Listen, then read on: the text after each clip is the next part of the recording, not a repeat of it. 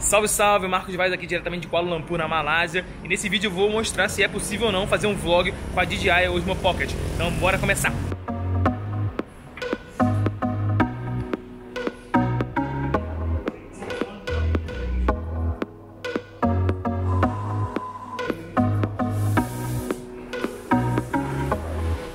E ao decorrer desse vídeo eu vou mostrar qual o modo né, do, do gimbal que eu estou usando. São três modos e eu estou gravando também ele no som diretamente da câmera, não estou usando nenhum filtro, não estou usando nada externo, é diretamente tudo do modo nativo né, da câmera.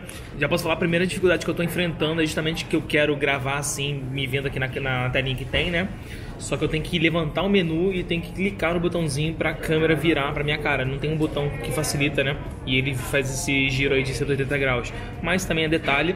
Eu tô vendo que ele tá marcando a minha cara também, então eu posso dar um, um rolezinho assim, que ele vai meio que me acompanhar, né? O foco, na verdade, ele vai me acompanhar, eu tirei Uh, o modo que ele está na velocidade, ele está numa velocidade rápida, então se eu fizer movimentos bruscos, a câmera tende a me acompanhar com o braço e estou gravando aqui numa distância também, mais ou menos de quase o braço todo esticado, ó, esse aqui é o braço todo esticado, esse aqui é a distância que eu estou gravando, é um braço mais ou menos em 45 graus, por aí.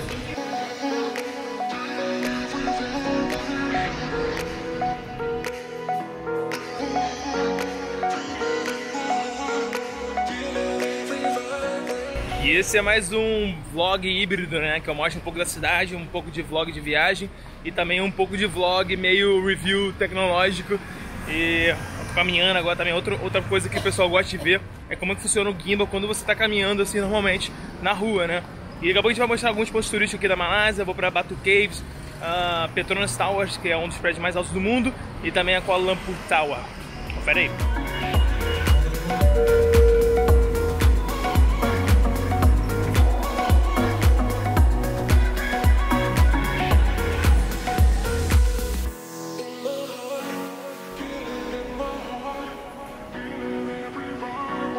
Eu falei no outro vídeo, né, que quando ele faz o slow motion, ele já exporta o vídeo, né, pra, pra 1080, 30 frames por segundo, só que ele cropa. O que é cropar, né? Ele meio que dá um zoom na imagem, então você tem que filmar um pouco mais de longe. Por exemplo, se eu fosse fazer um slow motion agora da minha cara, eu teria que estar com o braço bem mais esticado para conseguir enquadrar assim como eu estou mostrando aqui agora.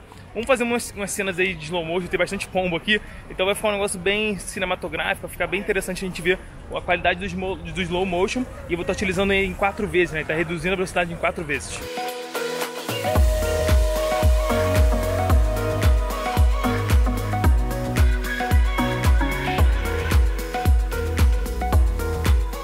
Dia do Prefiro Viajar, ela vai ser a voluntária pra gente testar aqui o teste slow motion de cabelo sensual cinematográfico, beleza? Então vamos, vamos lá, pro, vamos mudar aqui pro modo cinematográfico pra gente ver como fica.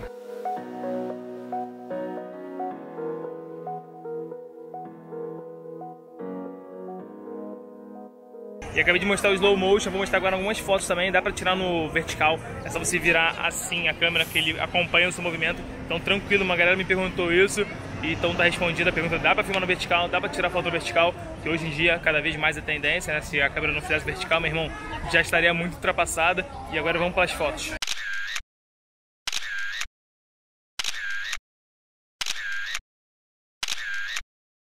Como eu falei, tem três configurações para o gimbal.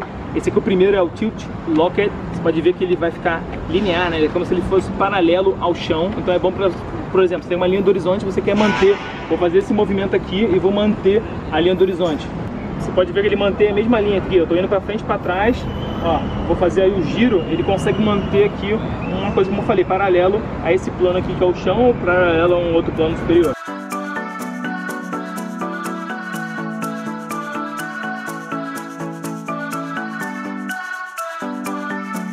O segundo modo é o modo follow, então ele vai acompanhar o seu movimento. Então se você jogar ele para cima, a câmera vai para cima, só que ela vai bem devagarzinho, tá vendo? Então você tem que compreender como é que funciona um gimbal. Isso aqui demora mais tempo, mais prática também. Eu não gosto muito porque demora muito também, às vezes dá uma travada, aí você quer virar pro lado, ele não veio pro lado. Então eu não recomendo para vlog, eu não recomendo esse follow, mas para uma parada mais cinematográfica, mais cinematic, como a galera fala aí na gringa, né? É, eu recomendo esse follow, que você faz um negocinho devagarzinho, você bota o tracking também, você pode traquear uma pessoa, ou algum, algum carro, e ele vai acompanhar certinho o que você traqueou. Mas o tracking funciona com o telefone, né? No caso eu tô gravando o vlog sem o telefone plugado, porque eu não quero ter um trambolho aqui pra fora, como já falei na, na primeiras impressões. Vai.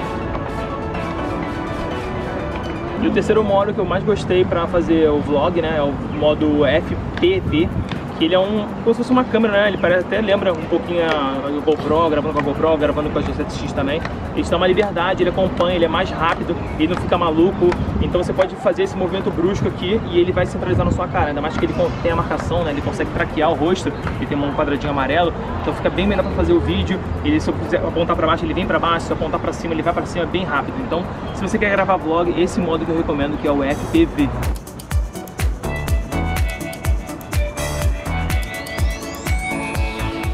E uma outra pergunta que fizeram bastante lá no meu primeiro vídeo é se dá pra gravar na vertical, tirar foto ou fazer vídeo. E dá pra fazer, é só você virar assim, ele vai ficar na vertical. E se você quiser trazer a câmera pra você, você vai ter que apertar um botãozinho no menu. Não, você, não vai ter, você não consegue fazer isso. Então você vai apertar um botão e ele vai olhar pra mim aqui e eu consigo me ver na telinha. E eu consigo mostrar aqui a Mandinha também, filmando ela, ela mesma. Olha que maneiro. Vamos subir agora uma escadinha contra a luz. Ó, a escadinha tá aqui agora. Vamos ver como que tá o movimento. A galera falou que não gosta muito do movimento de gimbal, como eu falei também, fica muito mecânico, né? Dá pra ver que é um gimbal que eu tô segurando. Você gosta desse movimento? Comenta aí embaixo também o que, que você tá achando. Se tá suave, se tá tranquilo. Segurando aqui de lado também, de boinha. Vou dar uma corridinha pra ver se, se melhora alguma coisa. Nem sem morrer, né?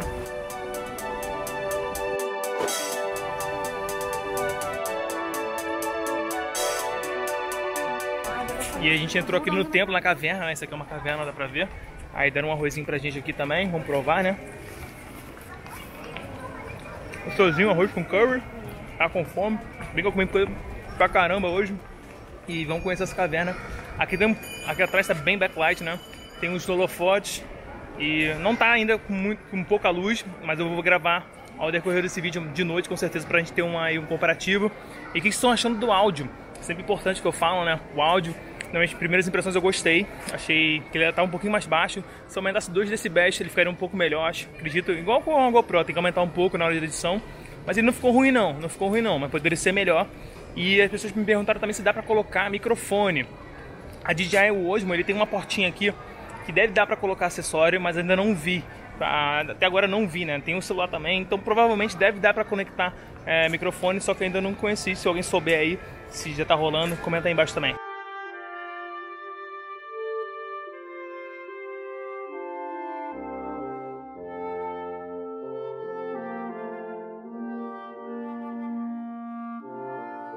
Vamos para uma condição mais adversa que é baixíssima luz. Dá pra ver aqui que minha cara tá toda preta, tem umas luzes atrás de mim, né? E por acaso aqui, ó, Petronas Tower, se você não conhece, é um dos, prédios mais altos do mundo. E vamos ver se vai pixelar ou não. Mas na última, no último vídeo que eu fiz, na primeira impressão, ela saiu muito bem. A baixa luz, né? Muito melhor que a GoPro e outras câmeras. Eu vou mostrar agora, vou fazer um take diferente aqui.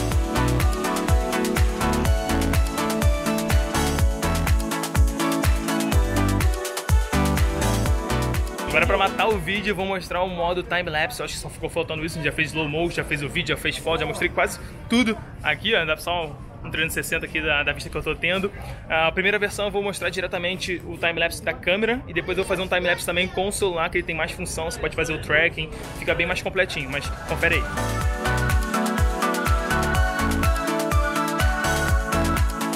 Estou fazendo agora um time-lapse com o telefone plugado, né, o aplicativo plugado, ele fica bem mais fácil porque você pode fazer um caminho, um path que ele chama, e você pode ajustar também o ângulo da câmera, né, eu tentei fazer aí anteriormente com diretamente na câmera foi ruim porque eu queria pegar um pouco mais do céu para pegar as nuvens, né? E eu tinha que deixar ela inclinada. E agora com o aplicativo fica bem mais fácil, que você tem ali o controle total da câmera e também, como eu falei, você consegue fazer esse path. É maneiro que você consegue também tirar, fazer time-lapse a partir de 3 segundos, você pode deixar 10 minutos, 5 minutos ou deixar aí o tempo infinito, infinito quanto a bateria durar, né? E o problema é que quando você pluga o telefone, você fica meio sem apoio, né? Você tem que botar algum calço ali pro telefone não tombar porque a base da Osmo é bem pequenininho e o telefone vai pesar pro lado esquerdo. Vou mostrar aqui como é que é. Tô fazendo agora um time-lapse com o celular, como eu falei. Tive que colocar a capinha, porque ficou um espaço aqui e aí ele tava caindo para esse lado, tava pendendo pro lado mais pesado que é o telefone. E vamos ver como é que vai ficar aí se vai ficar bom ou não. Coloquei para ele traquear lá desde cima e fazer uma, meio que uma curva, fazendo esse caminho aqui assim.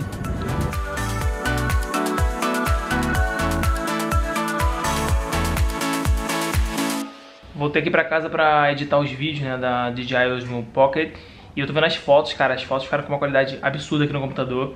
Eu não consegui achar as fotos em panorama, né? Ele, ele quebrou uma pastinha em quatro fotos, então eu vou ter que juntar caso eu queira editar aqui no computador. Ou eu vou ter que pegar do aplicativo e mandar pro computador, ou eu vou ter que juntar as quatro fotos e montar uma panorama no Lightroom, por exemplo. E o timelapse ficou bem maneiro também, gostei bastante do resultado. Só que aquele, aquele problema, né? Fica inutilizado o telefone por muito tempo. Imagina se você quer fazer um timelapse por 20 minutos, você vai ficar com 20 minutos sem o telefone. E além disso, você não tem como carregar o seu telefone se for um iPhone, né? Porque a entrada de energia é justamente na conexão com o DJI Osmo Pocket. E a entrada de alimentação do Osmo Pocket é justamente embaixo. Então teria que ter um tripé para segurar as duas coisas e conseguir se colocar ali um cabinho de alimentação para o DJI ficar ali fazendo timelapse por mais tempo. No outro vídeo eu não falei meu comentário sobre o som, eu queria testar mais uh, em condições adversas. Eu acho que o som ficou ali entre bom e aceitável. Ele ficou um pouquinho baixo. Se você aumentar uns 2 decibéis, ele vai ficar um pouco melhor. Mas, assim, ficou tranquilo. Gostei também das fotos de noite, ficou pouco ruído. O slow motion pegou um pouquinho mais ou menos ali na, na parte de... com baixa luz, na parte do, da, da fonte, né? Mas tudo bem também, porra, você não pode exigir tanto da, dessa câmera. Como eu falei, com o telefone ele vira uma, uma super máquina, né? Mas quando você está utilizando ele apenas uh, sem o telefone plugado, ele, ele vira um, uma câmera assim razoável. Dá pra fazer um vlog, eu acho que vocês viram aí. Eu fiz praticamente tudo, só o timelapse que eu não coloquei o telefone. Então eu fiz praticamente tudo com a DJI Osmo Pocket uh, na minha mão. Então comenta aí embaixo se você achou que dá pra fazer um vlog, se você pretende comprar, se você não vai comprar. Eu ainda tô na dúvida, eu vou esperar voltar pro Brasil para ver se eu vendo ou não, porque eu tô carregando um monte de câmera e é mais uma câmera para pensar em carregar e mais para puxar, ainda tem esse negócio do celular. Então eu tô na dúvida aqui. É, se você quiser me ajudar também, é, me ajuda aí, por favor. Então vou ficando por aqui, cara. Espero te ver no próximo vídeo. Eu vou fazer o comparativo entre a DJI Osmo Pocket com a GoPro Hero 7 nas, próximos, nas próximas semanas. E vou estar postando aqui no canal. Então se inscreve aí para acompanhar esse próximo vídeo. E vou ficando por aqui. Até o próximo vídeo. Vais aonde? A partir de agora para Filipinas.